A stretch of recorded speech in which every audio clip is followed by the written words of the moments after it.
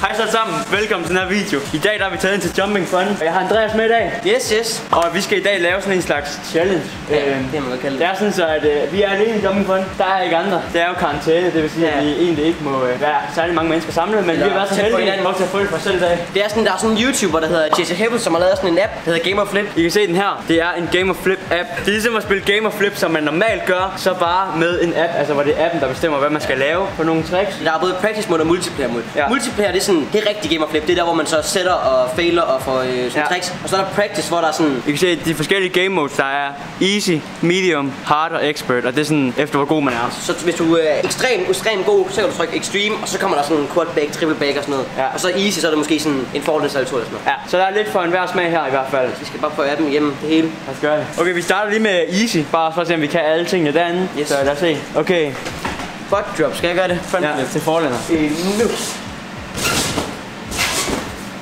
Sådan der. Næste, det er øh, backflip til øh, maven. Og så har vi øh, layout, den kan jeg lave på jorden. Yes. Cartwheel, Det er bare... Oh, konge. og så sideflip, den kan jeg godt lave. Ja. Den kan jeg næsten lave stående faktisk. Sådan.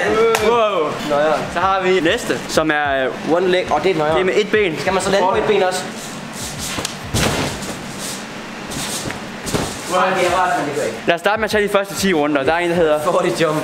Okay. Er det ikke halvanden skrue? Uh, front flip half twist. kan vi lave sammen. Ja. Front half. Uh, okay. Den kan du lave. Ja, en beregning til maven. Ja.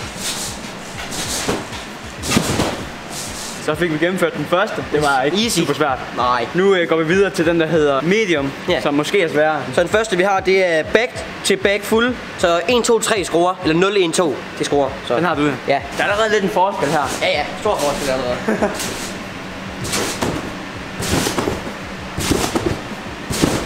Double side flip. Okay, så skal vi have Jeg vil gerne lige prøve. Double side dertil. Ja. Så nu kan jeg se medium. Det bliver allerede lidt svært for os andre, hvis vi ikke har nogen okay trampoliner. Ej, okay.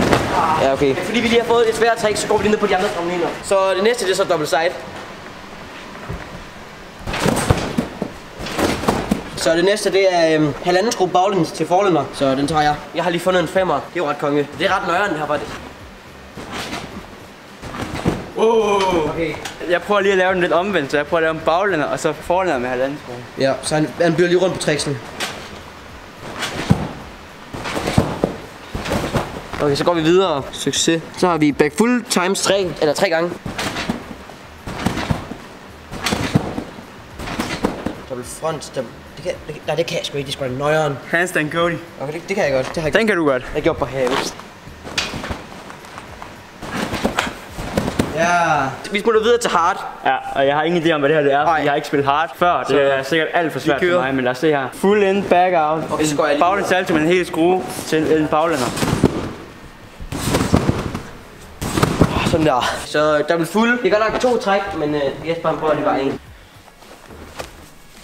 Nice. Ah, nu vil jeg prøve at lave det samme trick, hvor jeg balancerer på den her. Ja, og det drejer ligesom rundt, så det er overhovedet ikke det samme. Det tør jeg ikke. Det kan jeg ikke. Nej. Ja, du har den der. Yes. Hvad er næste? Og standing double kaboom.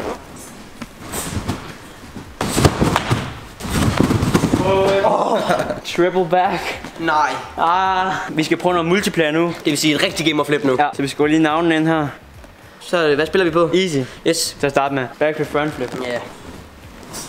Og man har kun et forsøg. Hvis man ikke lander den, så er man færdig. Er vi enige? Ja. Godt. Succes. Jeg har et enkelt forsøg. Ja, så er det mig. Så er det Andreas. Åh, oh, jeg har grinet, hvis du ikke havde. Så dig. øh, Halvanden, eller sådan, du ved, sådan her, et hop her. Til kaboom. Hvad?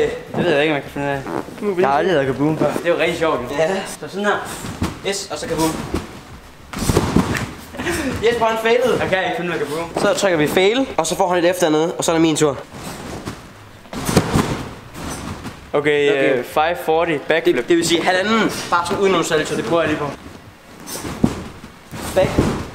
Ja, nice. Okay, det var godt nok lidt forvirrende det der. Ja. Åh, oh, nøjeren. Åh, oh, det er nøjeren. Front layout. Okay. Hvordan gør vi det lige det? Skal jeg vise dig det? Skal jeg så starte? Ja. Wow. Backflip til sideflip. Ja. Nice. Okay, så har vi øh, et hop med en halvanden skrue, og så stedet for baglænder, så er det forlænder den her gang. Nå, lidt noget.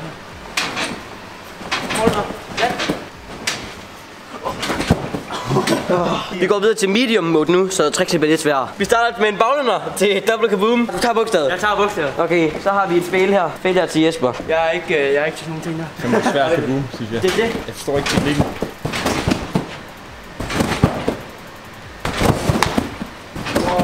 Så hvad er det næste? Der er Den, jeg laver den her nu. Skal den landes?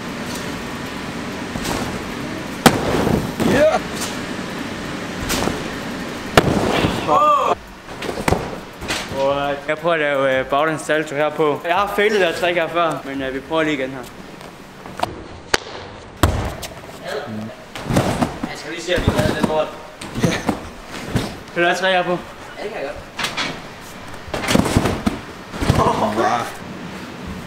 Nej. Okay. Hvor er det nøjere? Ej, ej, du skal Ej. Så nu skal Daniel bag kameraet simpelthen vurdere, hvem der laver det bedste backflip på jorden. Og det er uden powerstep. Jeg er hård dommer. Jeg vil have højde, og jeg vil have hurtig rotation. Det skal se skarpt ud ind i helt ind i jeres sammenbøjning.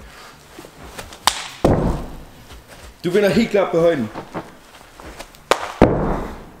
Den runde der giver til Jesper. Ja, tak. Den er bedre på græsset, den er.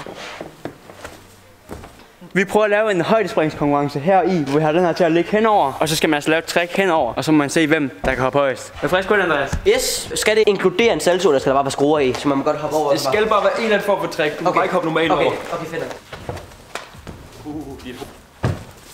Yes. Det går lidt højere op. Ej, Yes. det kan jeg, jeg, jeg skal hoppe over. Så vinder jeg på den. Wow.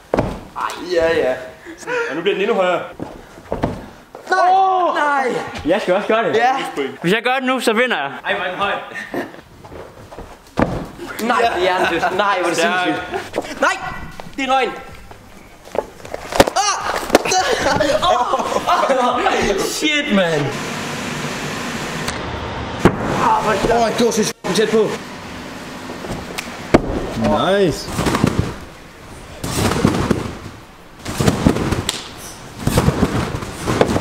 Sindssygt.